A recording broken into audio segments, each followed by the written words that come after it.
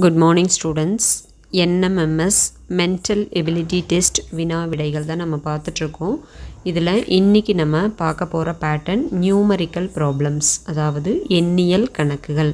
இதுக்கு முன்னாடி நிறைய பேட்டர்ன்ஸ் நம்ம பார்த்துட்டோம். அந்த வீடியோஸோடைய லிங்க் கீழே இருக்கக்கூடிய டிஸ்கிரிப்ஷன் பாக்ஸில் இருக்குது இன்றைக்கி எண்ணியல் கணக்குகள் வந்து நம்ம பார்க்குறதுக்கு முன்னாடி எண்ணியல் பயிற்சியில் நமக்கு என்ன மாதிரியான வினாக்கள் கேட்பாங்க எளிய எண்கணித கோட்பாடுகள் எல்லாம் இருக்கும் சில ஃபார்முலாஸ் எல்லாம் இருக்கும் எளிய முறை கூட்டல் கழித்தல் பகு எண்கள் பகா எண்கள் பின்னங்கள் சதவீதங்கள் வர்க்கம் கணம் வர்க்கமூலம் கனமூலம் இது போல் ஒரு சில விஷயங்கள் நம்ம ஞாபகத்தில் வைத்துக்கொள்ள வேண்டியது இருக்குது அதை நம்ம பார்த்துட்டு எக்ஸசைஸ் ப்ராப்ளமில் டுவெண்ட்டி ஃபைவ் ப்ராப்ளம்ஸ் இருக்குது அதை நம்ம நேராக பார்க்க போயிடலாம். ஸோ இதில் எல்லாம் பாருங்கள் இப்போ முக்கோணம் அப்படின்னா அதனுடைய பரப்பளவு என்ன? ஆஃப் பிஹெச் நமக்கு தெரியும். முக்கோணத்தினுடைய சுற்றளவு மூன்று பக்கங்களினுடைய கூடுதல்.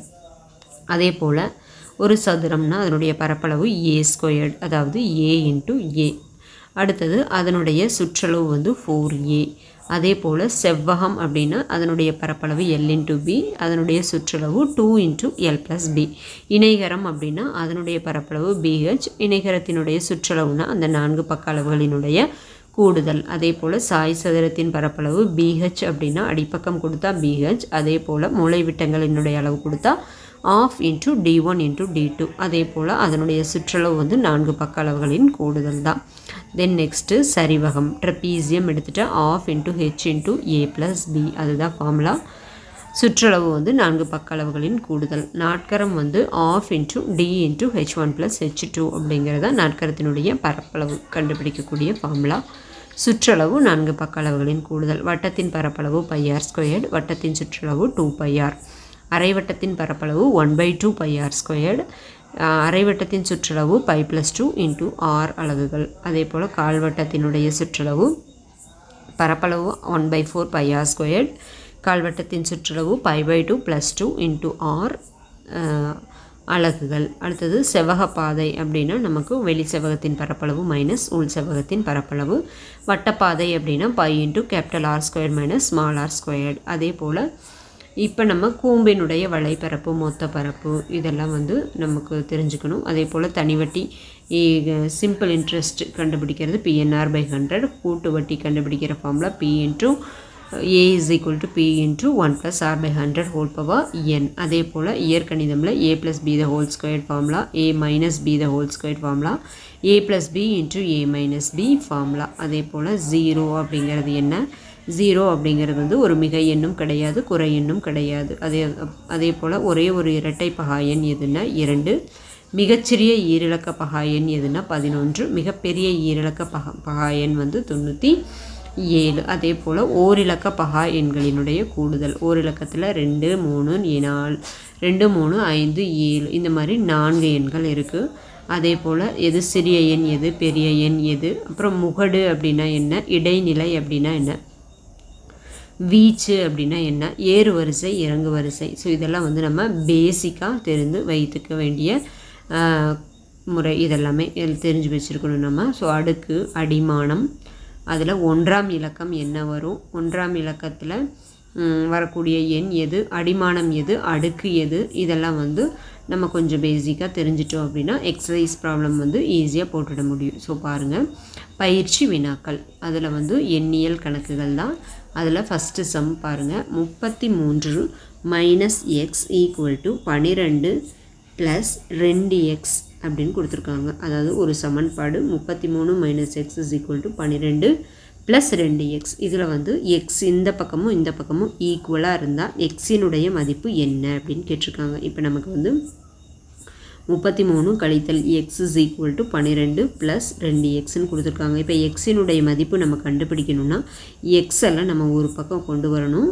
மீதி இருக்கக்கூடிய நம்பர்ஸ் எல்லாம் ஒரு பக்கமாக நம்ம கொண்டு வந்துடணும் ஸோ இப்போ இங்கே முப்பத்தி மூணு இருக்குது அதை அப்படியே வச்சுட்டு ரைட் சைடு இருக்கிற இந்த பன்னிரெண்டை வந்து நம்ம லெஃப்ட் சைடு கொண்டு வந்தால் என்ன ஆயிரும்? ப்ளஸ் பன்னிரெண்டு வந்து மைனஸாக வந்துடும் எப்போவுமே லெஃப்ட் சைடுலேருந்து ரைட் சைடுக்கோ ரைட் சைடுலேருந்து லெஃப்ட் சைடுக்கோ ஒரு நம்பரை நம்ம கொண்டு போகும்போது அந்த நம்பர் வந்து ப்ளஸில் இருந்ததுன்னா பாசிட்டிவாக இருந்ததுன்னா ரைட் சைடு போகும்போது நெகட்டிவாக மாறிடும். அதுவே நெகட்டிவாக இருந்தால் மாற்றி எழுதும்போது பாசிட்டிவாக மாறிடும். அதே போல் அது மல் பெருக்கல்ல இருந்தால் வகுத்தலாக மாறும். வகுத்தல் இருந்தால் பெருக்கலாக மாறும். இது வந்து ஒரு பேசிக் ஒரு சமன்பாட்டில் இடது பக்கத்துலேருந்து வலது பக்கம் எண்களை மாற்றும் பொழுது நம்ம கொ- கண நினைவில் வைத்துக்கொள்ள வேண்டியது.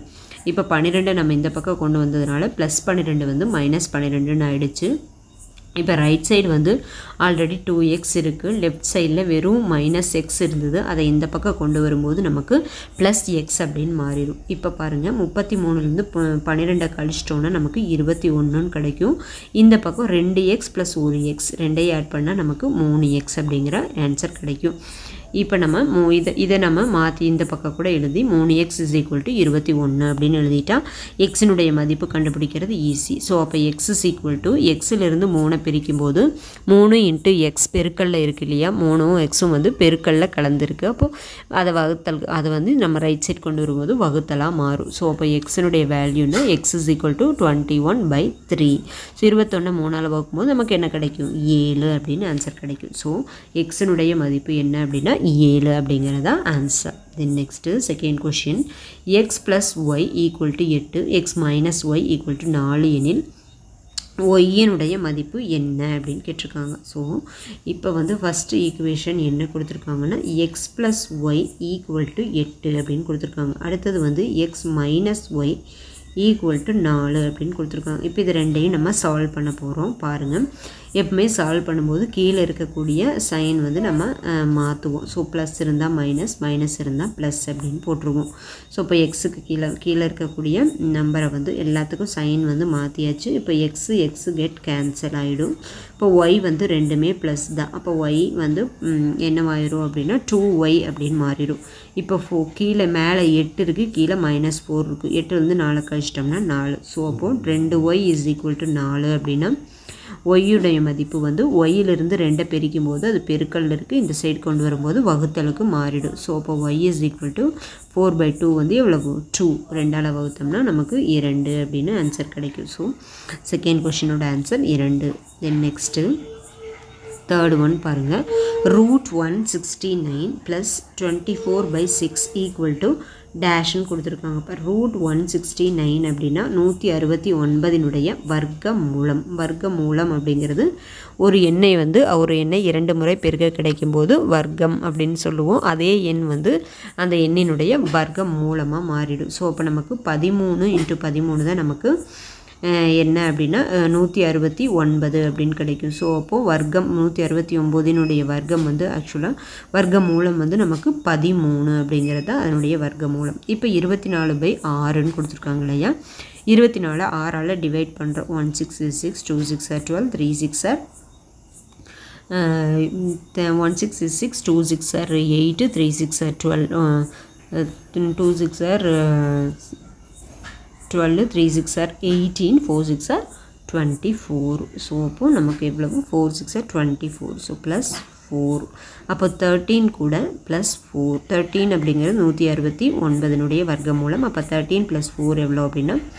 செவன்டீன் அப்படின்னு நமக்கு கிடைக்கும். So seventeen is the answer. Okay then next fourth one zero point one into zero point zero zero zero seven இப்போ இது ரெண்டையும் வந்து நம்ம எப்படி பெருக்கிறது? நீங்கள் இவ்வளோ பாயிண்ட் எல்லாம் வச்சுருக்கு எப்படி பெருக்கிறதுன்னா நம்ம எதுவுமே பண்ண வேண்டியதில்லை. இதில் இருக்கக்கூடிய நம்பர்ஸ் என்ன? ஒன் அண்டு செவன் ஸோ அது ரெண்டையும் பெருக்கினா நமக்கு ஒன் செவன் செவன் அப்படின்னு மட்டும்தான் நமக்கு கிடைக்கும். இப்போ பாயிண்ட் தான் நம்ம எப்படி வைக்கணும்னு பார்த்தீங்கன்னா இங்கே வந்து ஒன்று ரெண்டு மூணு டிஜிட்ஸ் இங்கே ஒரு டிஜிட் இப்போ நாலு டிஜிட் வந்து நம்ம ரைட் சைட்லேருந்து தள்ளி வைக்கணும். ஸோ நமக்கு இருக்கக்கூடிய நம்பர் வெறும் ஏழு மட்டும்தான். அது ஒரு டிஜிட் கணக்கு வந்து ரெண்டு மூணு நாலு டிஜிட் தள்ளி புள்ளி வச்சுட்டு முன்னாடி வந்து ஜீரோ சேர்த்திக்கணும். அப்போ ஆன்சர் வந்து zero point zero zero zero seven அப்படின்னு வந்துடும் ஸோ அப்படியே மல்டிப்ளை பண்ணி டிஜிட்ஸை மட்டும் நம்ம தள்ளி புள்ளி வச்சுக்கிறோம். ஸோ இதுதான் answer then next fifth one வந்து பாருங்கள் மதிப்பு காண்க. ஸோ வந்து நாற்பத்தி எட்டு ஸ்கொயர்டு அப்படின்னு கொடுத்துருக்காங்க. மைனஸ் ரெண்டு ஸ்கொயர்டு அப்படின்னு கொடுத்துருக்காங்க. அப்போது நாற்பத்தி எட்டு A squared minus B squared இந்த ஃபார்முலா தான். A squared minus B squared is equal to நமக்கு ஒரு ஃபார்முலா அல்ஜிப்ராவில் நம்ம படிச்சிருக்கோம். A plus B into A minus B so அதுதான்.